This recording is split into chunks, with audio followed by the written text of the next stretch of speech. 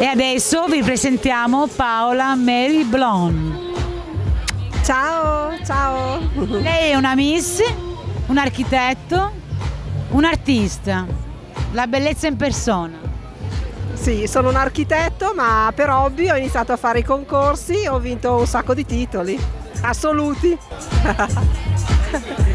Niente, ho fatto anche tante cose in televisione continuerò a fare concorsi, anche prossimamente ho un'altra finale e continuo per questa strada che ho iniziato da qualche anno.